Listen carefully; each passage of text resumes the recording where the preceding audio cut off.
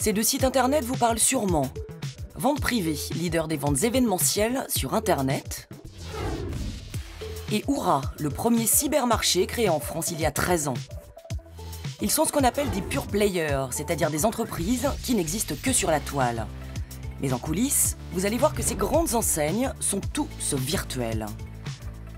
Des kilomètres d'entrepôts pour stocker les marchandises, des centaines de personnes au service du e-commerce. Ah bah, pas besoin d'aller dans une salle de sport. hein. Pour faire rouler cette économie gigantesque, elles ont fait de la productivité une religion. Pour ça, un mariage parfait entre l'homme et la machine est nécessaire. Le, four vient faire l'effet de, de rétractation, il vient bloquer vraiment les colis à l'intérieur du, du carton. Et pour vous séduire, vous faire sortir la carte bleue, elles sont les reines de la mise en scène. Je pense que si la carotte pouvait bouger un tout petit peu plus vers... Voilà, un peu comme ça. Là, on est pas mal. Grâce à des photos dignes des pages mode et toujours plus de nouvelles technologies. Le client va pouvoir zoomer sur la partie de l'étiquette qui l'intéresse. Chaque société a son style, mais toutes les deux sont championnes dans leur secteur. Et chaque jour, elles attirent de nouveaux clients.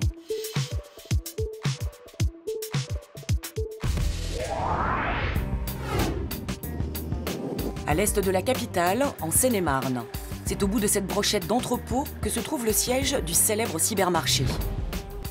Alors qu'est-ce qui se cache derrière les murs de cette entreprise?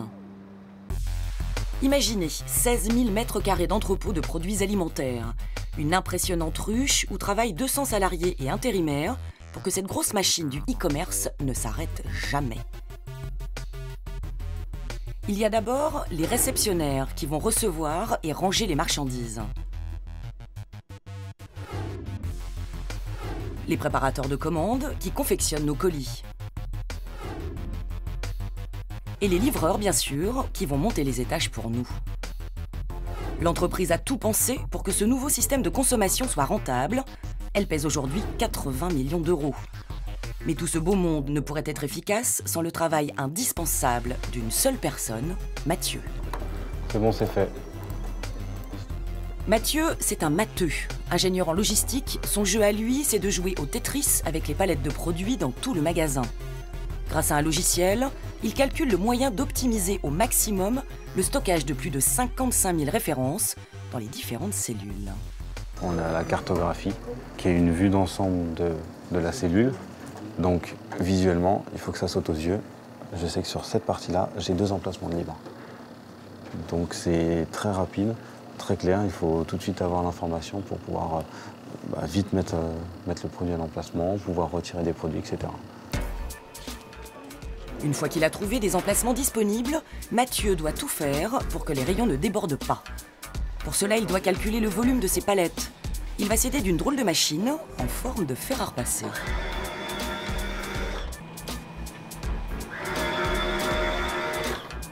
Elle va scanner en 3D les mensurations de chaque produit. Donc en fait, ça permet de ne pas faire déborder le bac. D'accord? La volumétrie du bac, donc combien peut contenir un bac, on va savoir combien on peut mettre d'objets dans le bac en fonction de leur taille. Donc c'est comme un Tetris en fait. Euh, vous savez qu'en mettant les produits par rapport à leur, euh, leur mesure, si ça va rentrer ou pas. Une fois tous ces paramètres en main, Mathieu peut enfin donner une adresse à sa marchandise imprimée sur ses étiquettes. Donc Alexandre, hop, tiens, tu peux tout prendre, laisser zéro, et puis après tu donnes à caméra. Et vous allez voir que les adresses ne sont pas données au hasard. Tout est calculé pour éviter des kilomètres de marche aux préparateurs de commandes. Du coup, les rayons ne ressemblent en rien à ceux des supermarchés. Les articles ne sont donc pas rangés par catégorie, mais par force de vente.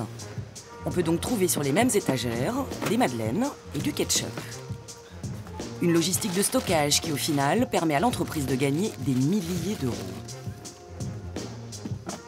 Si jamais vous avez un produit comme ça qui se vend bien, si vous devez le mettre en haut, vous allez perdre du temps, parce que du coup vous allez faire des extensions au niveau des bras. Donc forcément vous perdez du temps, donc vous perdez de la, de la productivité. Une fois les marchandises entreposées, la mise en ligne des produits peut commencer. L'enjeu pour un cybermarché, c'est allécher les clients avec des articles virtuels. De belles photos sont donc indispensables. Steven ne fait pas son marché.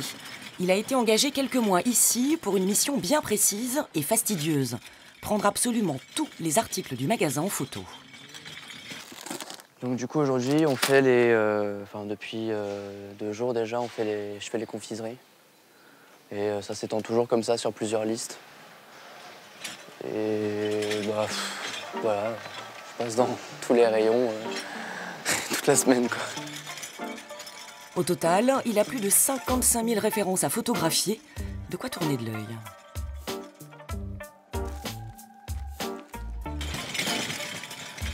Fastidieux c'est pas le mot, c'est plus euh, envahissant je dirais. Peux pas aller dans un supermarché sans me dire euh, ah ça je l'ai fait, ah ça ça y est aussi je l'ai fait. C'est assez euh, c'est assez particulier comme truc. Une drôle de mission qui a néanmoins de quoi rendre jaloux les concurrents du cybermarché. En effet, le site a mis en place une nouvelle technique de merchandising, la photo des articles en 360 degrés. Grâce à ce mini studio et son plateau tournant, Steven peut photographier les articles sous tous les angles. 24 photos par seconde, quelques retouches, et sur le site, le produit a l'air presque palpable pour le client. L'idée, c'est que le client euh, puisse, en fait, euh, bah, de chez lui, avoir le produit comme s'il l'avait dans les mains. Quoi. Donc, du coup, euh, quand il voit un produit en 360 degrés, il peut lire tout ce, qui, tout ce qui se trouve sur le produit, les valeurs nutritionnelles, toutes ces choses-là. Au service informatique, c'est Thomas qui chapeaute toutes ces nouvelles fonctions. Outre la photo 360 degrés, Donc. ils ont développé des applications pour smartphones et tablettes.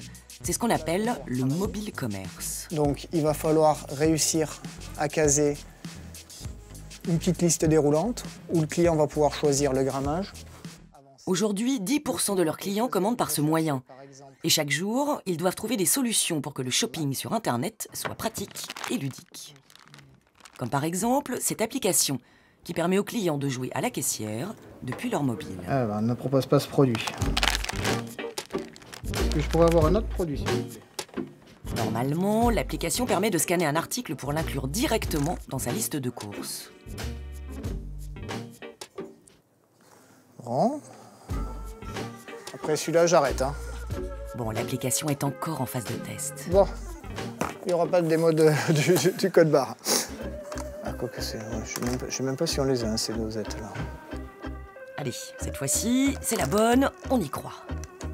Hop, les dosettes donc que je viens de biper ont été ajoutées à ma liste de courses et je peux maintenant les racheter puisque le paquet est vide.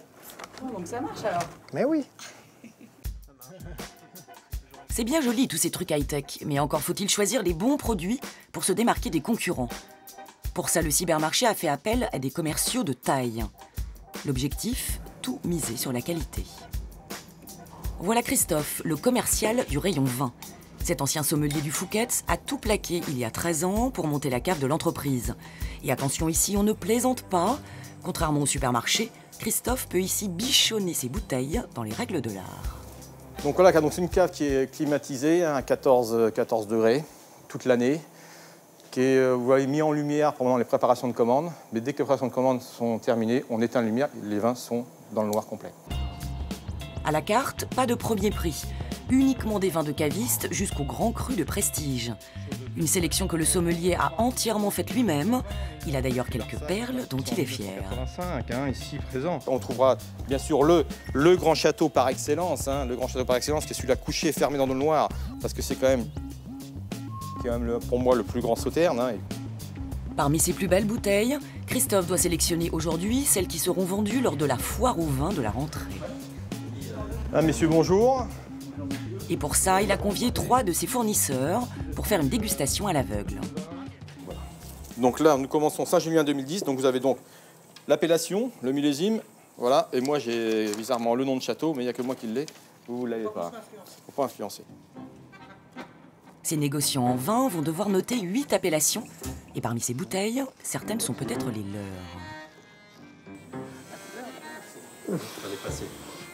Ça, c'est mort. Ouf, c'est mort. Ça, c'est mort. Ouf, c'est mort. Vous proposez ça Non, c'est pas chez toi C'est pas chez moi. J'ai de la chance. Non plus Non. Non, non. Non plus. Non plus. Vous avez de la chance, hein. Vous avez bien fait de venir. Ouf, ils ont eu chaud. Si ces fournisseurs ont accepté cette partie de roulette russe, c'est parce que travailler avec le cybermarché est une excellente vitrine. Chaque semaine, 7000 bouteilles sont vendues sur le site. Je pense que c'est quand même un peu l'avenir aujourd'hui, même si je crois beaucoup aux cavistes encore. Mais il est vrai que les gens passent beaucoup de temps sur Internet aujourd'hui. L'ordinateur fait partie de la vie. Ils, ils achètent sur Internet, donc je pense qu'il fallait être présent sur ce, dans ce- sur ce créneau. hein. Pour Christophe, ce genre de rendez-vous à première vue bon enfant permet surtout de tester l'exigence de ses fournisseurs. Ah, ça, eh, au vieillissement, il y a encore de la cerise. Ses invités sauront dans quelques semaines s'ils font partie de la sélection des promotions de la rentrée. Alors en attendant, À notre amitié tous. À l'amitié et au vin. Et au revoir.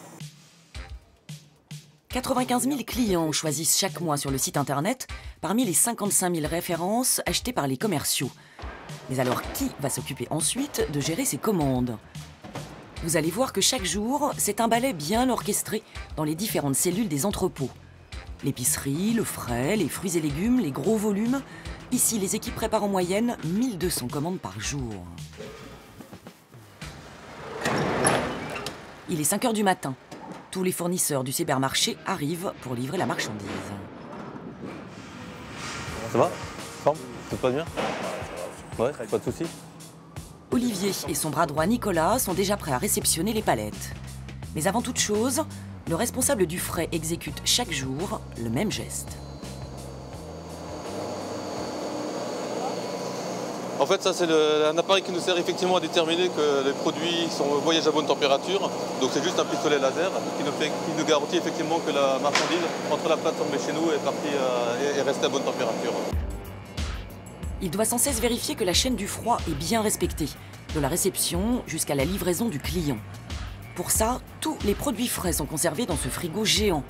Plus de 3000 m2 maintenus à 2 degrés, mais vaut être bien couvert. C'est une question d'habitude. euh, Il y a des moments quand il fait très chaud à l'extérieur, euh, c'est agréable de pouvoir euh, rester un petit peu au frais. Et puis en hiver, de toute façon, c'est la même température partout, donc on voit pas la différence. L'autre obsession d'Olivier, c'est la fameuse DLC, la date limite de consommation. Contrairement au supermarché, leurs clients n'ont pas la main sur les dates de péremption. Il faut donc les informer tous les jours des DLC qu'ils recevront chez eux. Et pour ça, ils ont trouvé une astuce, tout passe par ce pistolet. La date qu'on va saisir ici va remonter sur le site de façon à ce que le client, quand il commande, il voit la date du produit qu'il aura. Un travail de longue haleine, car il faut piper plus de 1600 produits frais par jour.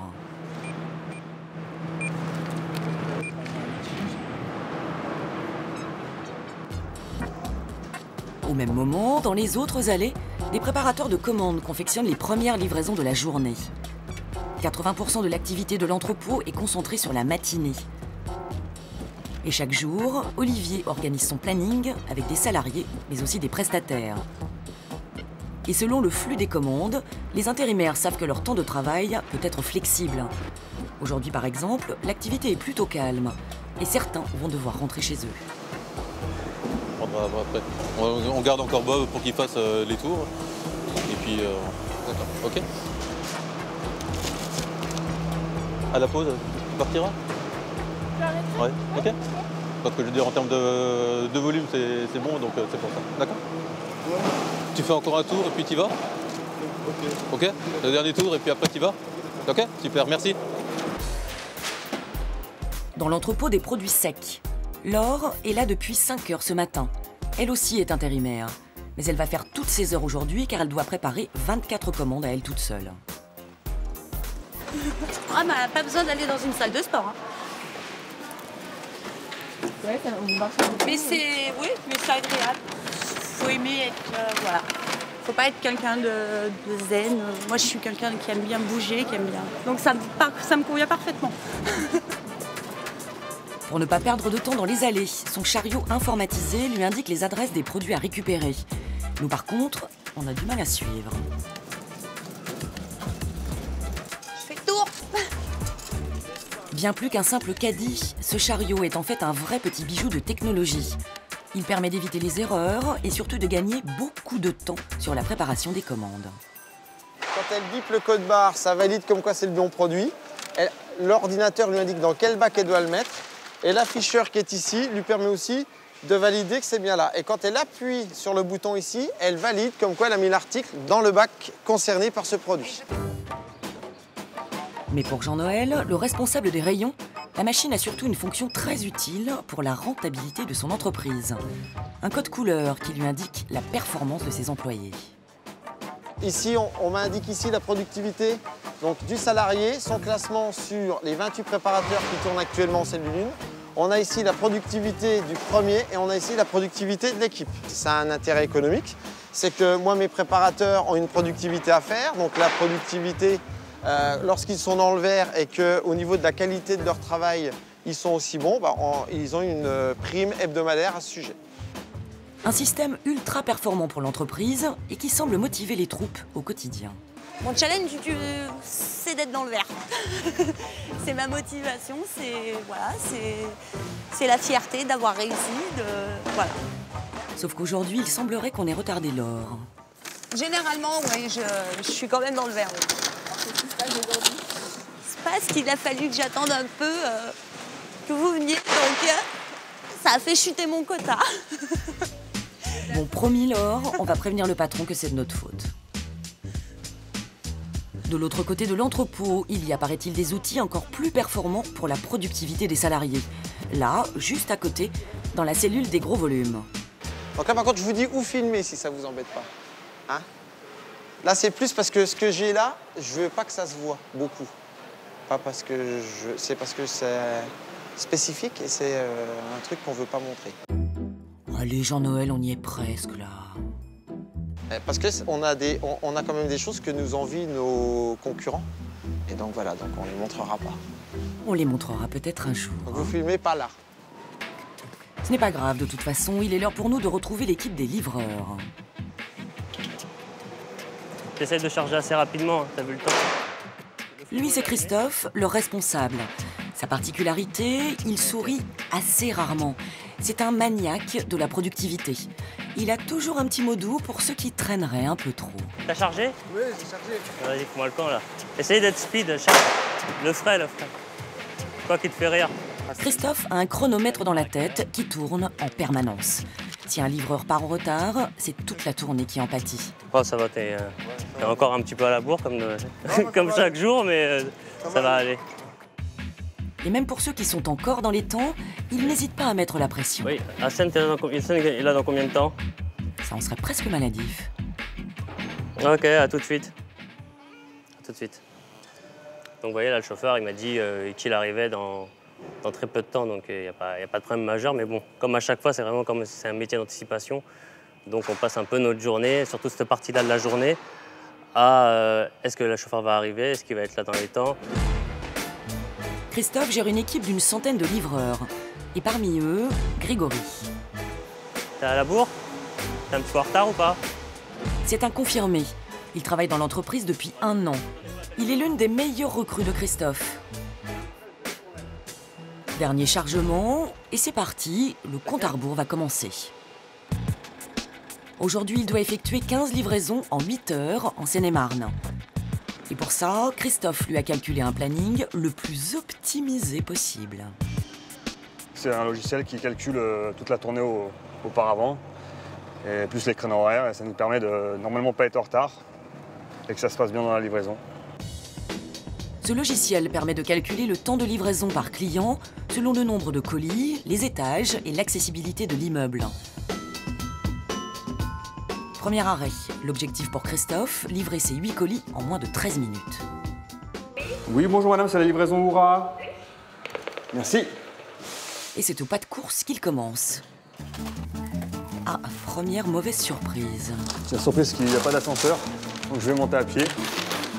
Il va devoir monter des dizaines de kilos à la force du mollet, tout ça sans perdre une seule seconde. Je vais laisser le petit bon en attendant. Non, je vais me signer, remplir la date, s'il vous plaît, le nombre de colis, ça sera 8. Merci beaucoup. Si le livreur court comme ça, c'est parce qu'en fait, il est surveillé. Dans sa tour de contrôle, Christophe ne déscotche pas les yeux de son écran.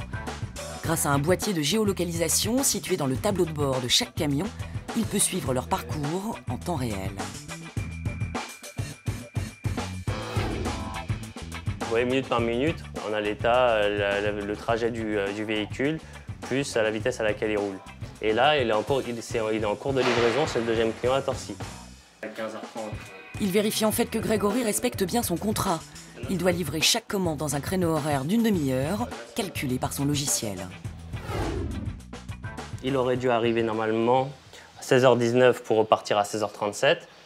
Là, il est arrivé à 16h30, il a 5-10 minutes de retard, mais on est toujours dans le créneau horaire demandé par client. C'est devenu la force de vente du cybermarché. Et voilà, madame. Les clients sont même prévenus sur leur smartphone de l'arrivée du livreur en temps réel. Et ça marche. Je reçois une notif qui me, qui me dit à quelle heure plus précisément euh, je serai livrée. Sur un créneau de combien? Une demi-heure. En gros, sur les deux heures, ils réduisent d'une demi-heure. Vous trouvez ça bien? Pratique. Mais pour Grégory, pas toujours aussi simple de respecter ce créneau. Il doit déjouer les obstacles que le logiciel ne calcule pas.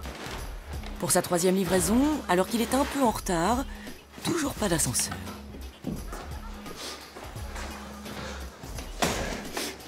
C'est l'horreur, le troisième étage sans ascenseur, 15 colis, c'est plus dur qu'un deuxième. Il n'y a pas à dire, livreur, ça maintient en forme. Grégory a perdu 12 kilos depuis qu'il a commencé ce métier. Mais s'il reste motivé, pour chaque tournée, c'est parce que tous les mois, les meilleurs sont récompensés. Tous les mois, il y a une prime. euh, c'est un podium, en fait. Les trois premiers livreurs euh, ont un- une prime en plus, en fait. Et ça s'élève à combien les primes? La première, euh, 200 euros. Deuxième, 100 et troisième, 50. T'en as déjà gagné toi? Oui, le mois dernier, j'étais deuxième. Une récompense qui n'est pas uniquement réservée aux livreurs. Pour que leur troupe reste toujours dans les starting blocks, les responsables ont décidé de récompenser deux fois par an leurs meilleurs salariés. S'il vous plaît. La règle était la dernière, que les personnes éligibles aient 18 mois d'ancienneté, qu'ils aient eu au moins 20 primes de productivité et qualité au sein de l'entreprise pendant la période écoulée. Donc sur ce premier semestre, nous avons trois élus. Donc je vais appeler le premier en préparation de commande, Monsieur Benassène Hotman. Une cérémonie en grande pompe, présidée bien sûr par Jean-Noël, le roi de la productivité. Son diplôme d'employé confirmé. Merci. Meilleur préparateur de commandes, meilleur réceptionnaire, ou encore meilleur livreur. Les trois vainqueurs reçoivent un diplôme symbolique et une prime sur le salaire. Je demande de venir à table. Merci. L'intérêt de cette réunion, c'est aussi que les lauréats servent d'exemple pour le reste des salariés. Quand on remet les diplômes d'employés confirmés, on convie l'ensemble de l'entreprise. Donc là, on a pu voir, il y avait des préparateurs, des réceptionnaires, mais aussi des gens des bureaux, le service informatique, le service client, la comptabilité. Tout le monde est convié parce que quand on fait quelque chose dans cette entreprise, on le fait avec l'ensemble des salariés, c'est une équipe. Dans les rangs, fondus dans la masse, il y a même leur patron, Michel Nellig. Mais lui déteste se mettre sur le devant de la scène. On a beau essayer de l'approcher, Vous m'aurez pas comme ça. Bah c'est important de comprendre que... C'est bête, hein. Ça... Je suis en simple visiteur. là. Quelques jours plus tard, nous retentons notre chance lors du grand inventaire semestriel du magasin. Dans les rayons, tous les salariés de l'entreprise, par équipe de deux, comptent et recomptent les produits frais. Donc 26 1C. J'ai deux dates. Et parmi eux, caché derrière les étalages, le patron est aussi de corvée, ça tombe bien. Euh, le patron, c'est important qu'il soit là aussi. Bien sûr.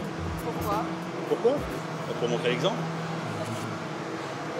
L'inventaire avec le patron, c'est... Il y a la pression C'est le faillot Parce que. Il y a que moi qui le supporte. Toujours pas à l'aise en interview. Pour plaisanter par contre, le directeur général n'est pas le dernier. Un patron discret, pas commun chez les leaders du e-commerce. D'autres le sont beaucoup moins. À la tête de vente privée, Jacques-Antoine. Jacques-Antoine Grandjean. Dans la presse, il fait régulièrement les gros titres.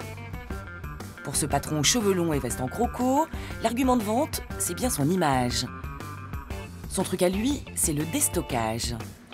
Ancien grossiste de fin de série, il crée un concept très novateur en 2000. La vente sur Internet des invendus des marques, sur des périodes très courtes et réservées exclusivement à un certain nombre d'internautes.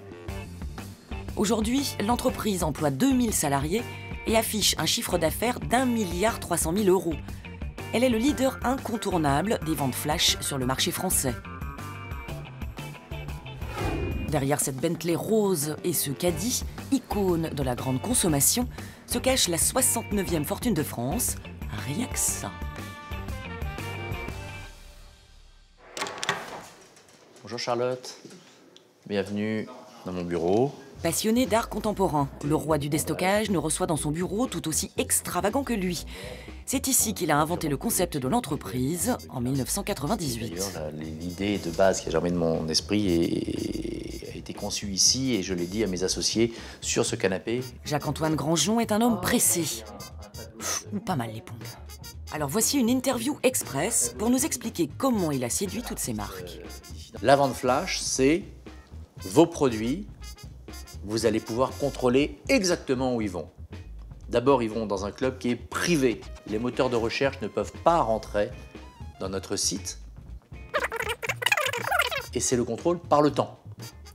Vous êtes exposé très fortement, 19 millions de membres en Europe, 13 millions de membres en France, 13 millions de membres en France. Vous êtes exposé à un laps de temps que vous décidez.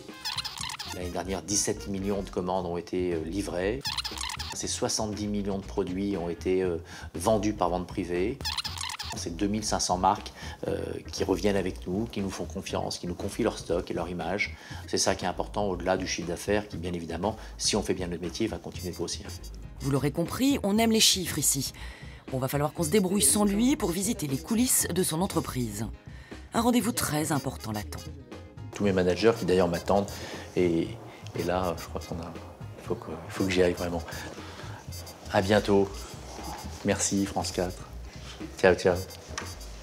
On vous avait prévenu, c'est express. Nous ne sommes pas dans la Silicon Valley, mais presque. À la plaine Saint-Denis, l'enseigne a investi dans plusieurs bâtiments. Et là, ne vous y trompez pas, ce ne sont pas les studios d'Hollywood. L'entreprise n'a pas hésité à filmer son siège comme un vrai décor de cinéma. Dans les anciennes imprimeries du journal Le Monde, sur plus de 16 000 mètres carrés, les salariés ont tous l'air tellement heureux de travailler dans ce nouveau temple de la mode. Ici, c'est le règne de la mise en scène. L'image de l'entreprise est toujours under control. Et lorsqu'il s'agit de laisser notre caméra filmer les coulisses, tout le monde est sur le pied de guerre pour que rien ne dépasse. C'est Emmanuel, acheteur depuis 7 ans sur le site, qui nous fait la visite du deuxième étage. Alors ici, vous avez le prêt-à-porter, le vin, le sportswear, le sport, euh, déco-meubles. Euh, je ne connais pas tous les secteurs, je ne connais pas tout le monde parce qu'on recrute pas mal, donc il y a des nouvelles têtes à chaque fois dans les bureaux. Sous ces néons roses, 120 acheteurs spécialisés négocient chaque jour avec des marques pour écouler leur stock d'invendus. Des vêtements de mode, mais aussi des voyages, des spectacles, du vin et plein d'autres choses. Le tout dégriffé jusqu'à 70%. Ils ne travaillent qu'avec de grandes enseignes. Alors bien sûr, compliqué pour nous de filmer une négociation, c'est ultra confidentiel. Emmanuel, spécialiste de la bijouterie de luxe, nous livre tout de même ses secrets. Son challenge chaque jour, convaincre les marques de luxe de travailler avec le site. Pas toujours évident lorsqu'on est réputé pour dégriffer les produits. La clé d'entrée, c'est vraiment de convaincre une marque à travailler avec nous.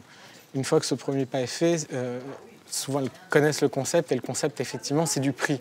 Après, on va, on va adapter le prix en fonction des offres produits, c'est-à-dire que la décote n'est pas linéaire. Forcément, un produit euh, surstocké est plus difficile à vendre. On va essayer de travailler le prix pour essayer de le vendre plus facilement. C'est un peu comme les soldes. hein. Les meilleurs produits sont moins, moins soldés que les moins bons produits. Au total, les 120 acheteurs travaillent avec plus de 2500 marques. Une fois leur stock et marge négociés, ils vont confier la vente au premier étage. C'est le point névralgique de toute l'entreprise. Les responsables des ventes. Ici, outre le français, on parle anglais, espagnol et même l'allemand. Ja, hallo Frau Matjaske, hier ist Nathalie Schäfer von Von Privé. Plus de 400 personnes s'occupent de mettre en ligne des centaines de produits. Marine travaille au département français. Chaque jour, elle reçoit les échantillons de ses futures ventes. Elle va devoir faire un travail très fastidieux, mais indispensable pour le e-commerce, créer une fiche technique de chaque produit. Donc une fois que, moi, que je reçois les échantillons ici, euh, je décris les échantillons donc, euh, à travers un logiciel que nous avons en interne. Donc là par exemple c'est un polo, euh, manche courte, col pointe libre. Donc je m'occupe vraiment de renseigner un maximum d'informations sur tous les différents produits qui constituent ma vente. Deuxième étape, Marine va composer sa vitrine comme dans un vrai magasin. Et pour ça, elle devra commander un shooting catalogue de tous ses produits. C'est dans ce tout nouveau bâtiment, la Digital Factory, que sont réalisées les photos de toutes les ventes. Plus de 60 studios photos, et pourtant le planning ne désemplit jamais. Ici, Frances organise le shooting de vêtements de marque espagnole. Euh, Sarah, il y a un petit pli euh, bas joli au- à son poignet à droite. Le photographe n'a pas le droit à l'erreur. Chaque vêtement doit être pris sous toutes les coutures pour paraître le plus réel possible sur le site internet. 15 000 clichés en moyenne par jour et l'excentricité n'a pas vraiment sa place. Le photographe, il vérifie que tout soit bien mis. Mon assistante a déjà vérifié d'abord aussi. Après, moi, je revérifie que tout soit bien mis, que tout soit homogène par rapport à ce qu'on a déjà fait. Après ça, ça part à la post-production qui va revérifier. La responsable des ventes va revérifier. En fait, il faut que ce soit parfait une fois ce soit en ligne. Il faut que le produit soit nickel. Mais le secret d'une vente ne s'arrête pas à la perfection des images du catalogue. Retour avec Marine, la responsable des ventes. L'arme de guerre du site internet pour écouler ses stocks, c'est de mettre en scène chaque marque à coups de photos et de petites vidéos, comme de vrais spots publicitaires. Et cette fois-ci par contre, place à la créativité. Ça va? Oui, super. Alors, est-ce que vous avez reçu mon... le brief de la marque que je vous ai euh, envoyé? Ce jour-là, Marine a rendez-vous avec une graphiste et une responsable shooting pour organiser la promotion d'une marque de chemise pour hommes. Bon, c'est une marque euh, de chemise euh, classique, donc on, est sur euh, la modernité, l'élégance. J'aime bien le principe de partir sur quelque chose de, de- de- de festif et d'estival et d'un d'un peu plus euh, frais, un petit peu plus. Voilà, parce que c'est vrai que c'est. hyper festif, tu vois, mais on peut partir sur quelque chose qui raconte un peu une histoire. euh, je sais pas, euh, par exemple, euh, effectivement, on se Ouais. disait. euh, Peut-être que- se mettre dans un champ et d'avoir euh, donc euh, le mec avec sa chemise, mais qui est vraiment en mode euh, un peu comme chez lui, de mettre euh, peut-être un fauteuil club avec euh, une petite lampe et une valise. Et euh, comme ça, ça ferait un peu le, le mec un peu, un peu plus euh, hipster. À les écouter, on pourrait croire qu'elle prépare la publicité d'une toute nouvelle collection. Et pourtant, c'est bien d'articles invendus dont il s'agit. L'objectif de Marine Dépoussiérer la marque afin d'écouler tout son stock, grâce à une page d'accueil très stylisée et une bande-annonce. Après, ça dépendra des images après. Dans l'un des nombreux studios, Claire prépare un shooting et une vidéo pour une marque de vernis. Ici, pas l'ombre d'un mannequin, seulement quelques carottes et des radis. Donc en fait, on a cherché des aliments, ben, montrer avec ceux-là par exemple, des aliments d'une certaine couleur qui se rapprocheraient de la couleur du vernis. Et en fait, après, on essaye de faire une peinture qui relie le tout. Et la photo, ça va être l'aliment trempé dans la, peinture avec une coulure qui arrivera jusqu'au vernis pour donner la sensation que la coulure vient du vernis en fait. Hum, concept. Pas facile facile de faire poser une carotte. Je pense que si la carotte pouvait bouger un tout petit peu plus vers... Voilà, un peu comme ça. Là, on est pas mal. Mais l'atout majeur du Pure Player, ce sont ces petites vidéos qu'il réalise comme des spots publicitaires. Là encore, c'est toute une technique pour mettre en scène des légumes. Difficile de garder son sérieux avec ce type de mannequin. Diane, s'il te plaît. Ce n'est pas sale. C'est de l'art, on est incomprise. En même temps, c'est vraiment ultra phallique, quoi. Là, coup- Certes, certes. Mais bon, Oui. Ouais, on n'y avait pas vraiment pensé, non. tu prendras la cerise sinon à la place. Allez, c'est dans la boîte. Merci. Bon, heureusement, il devra arranger tout ça en post-production. Dans ce gigantesque open space, 120 graphistes retouchent des milliers de photos et vidéos toute l'année. Ça leur prend en moyenne 5 jours de travail par bande-annonce. Et voici le résultat. Ah ouais, là, c'est moins phallique et plus esthétique. C'est fou ce qu'on peut faire avec des petits légumes. Et la musique que vous entendez, elle aussi, a été créée en interne. Dans leur propre studio, quatre musiciens créent en moyenne une dizaine de bandes originales par semaine.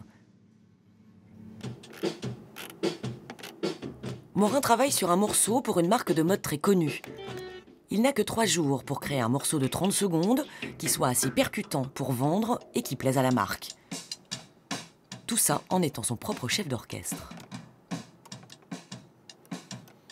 Donc le premier instrument que j'ai fait, c'est un synthé, doublé avec un piano. Ça.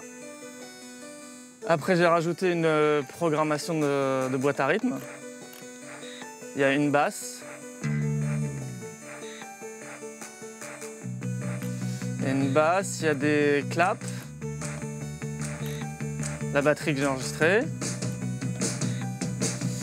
Et il y a aussi, euh, il y a aussi des guitares. Des bandes originales de professionnels, des shootings de stars. Ces bandes annonces bien huilées, dignes de grandes campagnes publicitaires, ne coûtent pas un sou à la marque. En fait, tout est financé en interne grâce à la marge que le site se fait sur les stocks. Une sorte de compromis gagnant-gagnant. D'un côté, les marques acceptent de vendre leur stock pour une bouchée de pain, et de l'autre, elles ont la garantie que les équipes du site vont vendre leurs produits dégriffés, certes, mais avec classe. Parce que là, pour le coup, celle-là, elle est trop liquide. Donc en fait, il faut un entre-deux entre.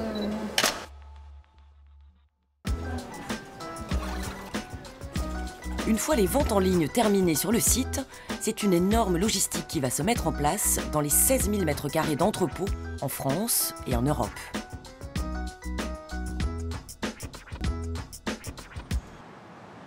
Non, nous ne sommes pas sur une foire d'art contemporain, mais devant l'entrepôt historique de l'entreprise, au Blanc-Ménil, en région parisienne. Pour nous ouvrir les portes de ce haut lieu de stockage tenu secret, ils nous ont prévu une escorte. Laurent, le responsable des huit plateformes logistiques en France, est venu expressément pour nous faire la visite avec Johan, le maître des lieux. C'est Laurent. Ça va, Johan? Ça va? Ouais. Petit café, on y va? Ouais. Première étape, la réception de la marchandise. Ici, la politique de stockage est tout autre que chez la plupart de leurs concurrents. Tout ce qui arrive est déjà vendu et ne restera que 48 heures dans les rayons. L'idée c'est d'avoir un zéro stock sur entrepôt, d'accord, ce qui fait partie du concept de justement de vente privée. Donc on a, on a zéro stock, là vous pouvez voir le stock que vous pouvez voir juste sur entrepôt. Dans deux jours il n'y en a plus. Un business model qui leur permet de pouvoir faire des réductions jusqu'à 70% sur les produits. D'avoir les stocks avant la vente, euh, c'est forcément plus, plus facile, mais il faut tout d'abord, un, donc ça, a un impact économique, donc ça veut dire que le business model serait remis en cause, et ça veut dire qu'effectivement, la décote, le taux de discount qui est aujourd'hui le point fort de vente privée ne pourrait pas être le même pour nos moments. Une fois la marchandise réceptionnée et vérifiée par les équipes, elle va être immédiatement amenée au préparateur de commande. Au total, il confectionne en moyenne 75 000 colis par jour. Alors, pour gérer ce flux extrêmement tendu, tout a été mécanisé au maximum. Et ici, la star de l'entrepôt, c'est la Givaro. Cette machine ultra performante permet de faire chaque jour de nombreuses économies. Le, four vient faire l'effet de, rétractation, il vient bloquer vraiment les colis à l'intérieur du, carton. Et ensuite, avec le refroidissement, ça vient se durcir pour, pour renforcer la sécurité.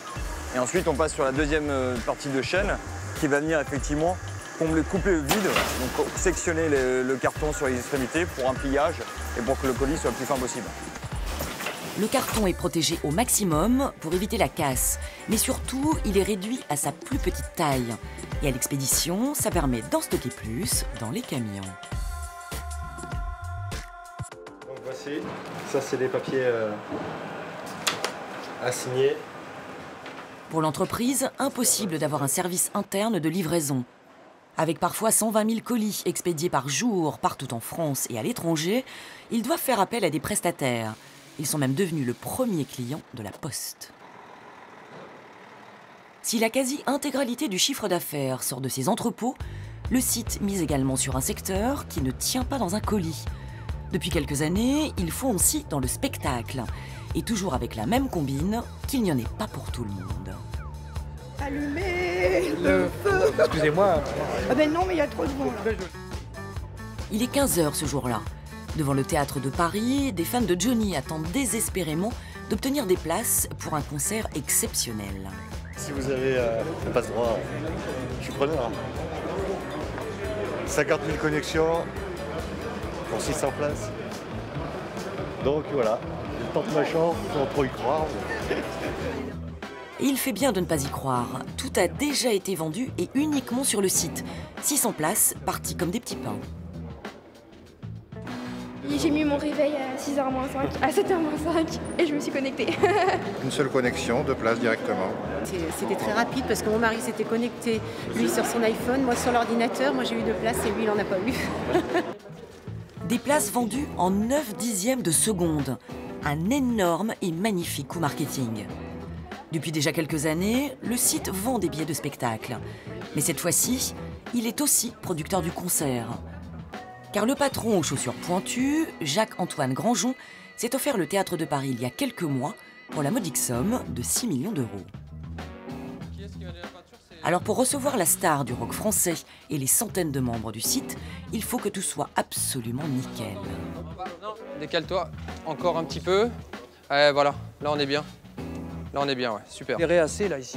Miloud est responsable de l'événementiel. Pour l'occasion, il a recréé la rue de naissance de Johnny Hallyday. Centré, hein. Voilà, centre entre la fenêtre, le début de la fenêtre et les pierres, comme tout à l'heure. Alors le challenge c'est de trouver la Madeleine de Proust de Johnny. Ce qui n'est pas évident. Donc voilà, donc j'espère que j'ai trouvé. Voilà, je vous dirai ça ce soir. Le concert approche et les membres ne devraient pas tarder à arriver. La pression monte pour le chef d'orchestre. Et 35, on a 25 minutes là. Quoi, c'est pas possible Qu'est-ce qui est pas possible C'est beaucoup trop clair. Ok. Mais on a, on a réglé le problème d'ampoule là au niveau de l'intensité, non? Dernier coup d'aspirateur. Miloud est enfin prêt et apparemment il est plutôt fier de lui. Super. Nickel, j'ai tout. Super fier. Super fier. Je suis un auto-kiff. Vraiment, je kiffe. Vraiment, c'est génial. C'est ça le, la Montre-moi le. Ah, j'adore. Ça, c'est super. Xavier Cour, le bras droit de Jacques-Antoine Grandjon, vient vérifier que tout est prêt. Là, ici, tu as la plaque, la vraie plaque. Et le 13, c'est quoi Et là, le 13, c'est là où il est né.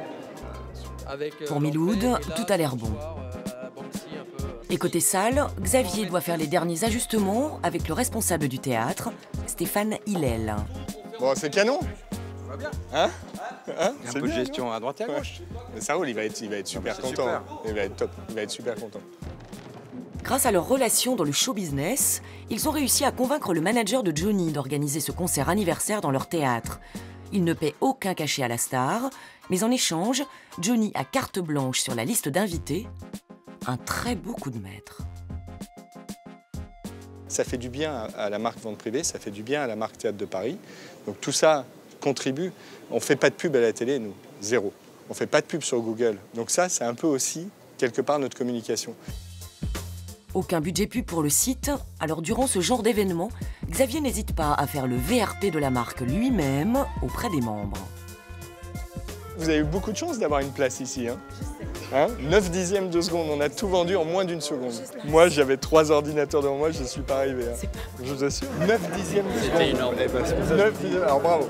Non, mais c'est à vous féliciter et continuez comme ça. Minuit passé, Johnny est sur le point de finir son concert à Bercy. Au même moment, dans le théâtre, sur l'écran géant, les membres peuvent voir le concert retransmis en direct. La star ne devrait plus tarder à arriver.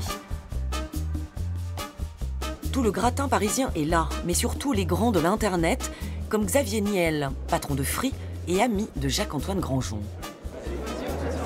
chaque plaque va avoir une couleur différente. Quand tu lèveras la tête, tu auras Sous le feu des projecteurs de Maïté F1 qui a l'exclusivité de la soirée, l'événement organisé par Jacques-Antoine Grandjon fait parler de lui. 3, 2, 1. Et voilà, nous sommes de retour. Vous venez de vivre ce duo Zucchero et Johnny Hallyday. Les invités se succèdent. Comme promis, à mes côtés, Jacques-Antoine. Ben voilà que j'écorche votre nom. C'est la fatigue en fait. Jacques-Antoine Grandjean, bonsoir. Bonsoir Grégory. Vous allez bien? Ouais, bien, très bien. Bon, alors vous êtes le patron de, de vente privée. Vous êtes aussi le propriétaire de ce théâtre de Paris. Et donc ce soir, chez vous, vous allez recevoir Johnny Hallyday. C'est quand même la classe, ça. C'est son anniversaire, ça méritait ça, il a 70 ans. Et ben voilà, le pari est gagné. Aujourd'hui, on est devenu un véritable média avec 2,5 millions et demi de personnes qui viennent tous les jours sur le site. Donc avec ce média, on peut faire énormément de choses. Et aujourd'hui, avec ce théâtre qui est vraiment euh, une incarnation euh, forte, ben, on va continuer à, à produire des événements. Bon, c'est pas tout les gars, mais il est l'heure d'accueillir la star du rock.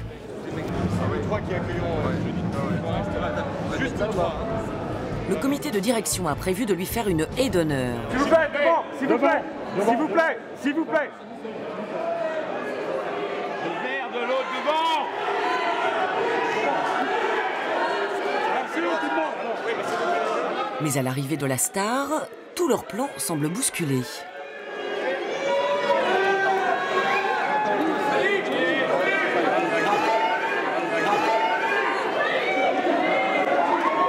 C'est énorme. Normal, Johnny ne se déplace qu'avec une dizaine de gardes du corps. Là, il y a Laetitia qui arrive derrière. Et de son côté, Miloud a carrément tout raté. En même temps, c'était un peu impossible de, l'atteindre. Donc en plus, il a même pas eu le temps de voir le, le décor. Donc à mon avis, ce sera à la fin, après le concert. Et quand t'es un peu déçu là qu'il n'ait pas vu ton décor Non, c'était logique. hein. T'as vu tout le monde qu'il y avait, mais c'est un truc de dingue. hein. Les fans de Johnny, c'est vraiment des fans. S'il vous plaît, s'il vous plaît.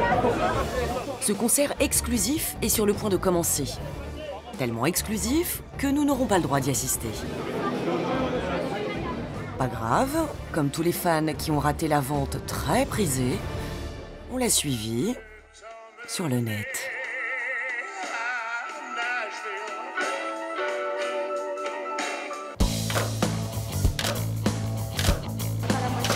Je pense que si la carotte pouvait bouger un tout petit peu plus vers... Voilà. Allumez le feu Excusez-moi. Ah ben non, mais il y a trop de vent là. Très joli. Allez, je vais tout au bout. Je fais le tour. C'est l'horreur, le troisième étage sans ascenseur, 15 colis, c'est plus dur qu'un deuxième. Alors, on ne propose pas ce produit.